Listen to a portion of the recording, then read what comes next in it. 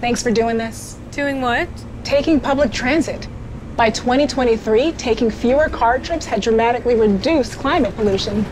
Wait, are you like a like a future person? Labels. So 2023.